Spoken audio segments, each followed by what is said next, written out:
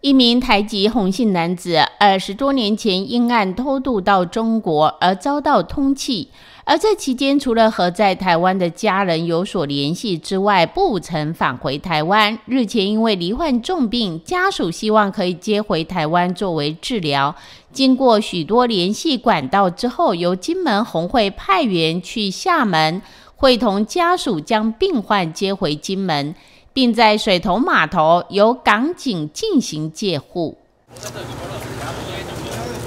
继续往前。等一下。然后二十二年，因为他可能不想关，他关了两次，然后假释也那时候假释还还没过，所以他就跑去大陆。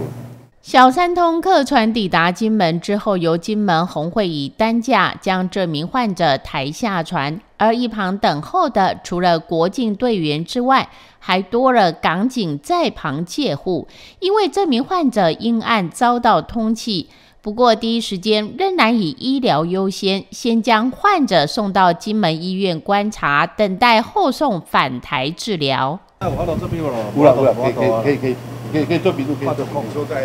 在在那边可以了。也是可以做笔录。医疗医疗医疗，还要帮他做笔录。医疗优先处理了，然后笔录后续。对对对对。有接到这个家属来电告知啊，说他一个哥哥诶在大陆有二十几年了，就是没有回到这个回到台湾来，然后最近身体人瘫痪掉了，应该是肺炎引起到这个脑膜炎，脑膜炎，然后整个呃四肢也都瘫痪这样子，然后也是找到找到很多的管道。哦，就是是不是能够让他回到我们台湾人，也找个我们的立委陈医生这边，然后透过很多管道来找到金门的红十字会，然后有红十字会前几天家属来跟我们联络，然后我们因为他什么证件都没有，在二十几年前呢，哎，是从从金门这边 偷渡去大陆这样子哈。金门红会表示，由于病患在二十几年前由金门偷渡到大陆，身上什么证件都没有。所以得到讯息之后，马上联系相关单位协助办理入台等等的相关证件，顺利在午夜的最后一天将患者送抵金门。